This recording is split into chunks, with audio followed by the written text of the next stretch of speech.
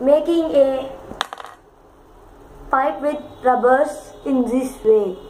You can see here it is a rubber and take it from the pen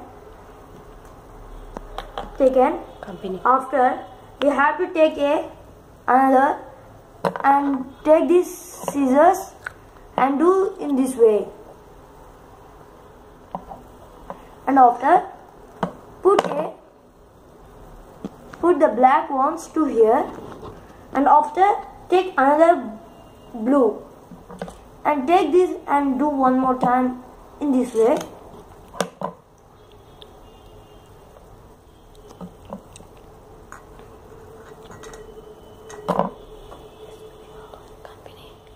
And take in this way too and do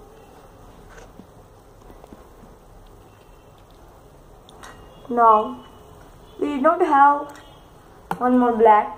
That's why keeping it this one. See now. It is a pipe.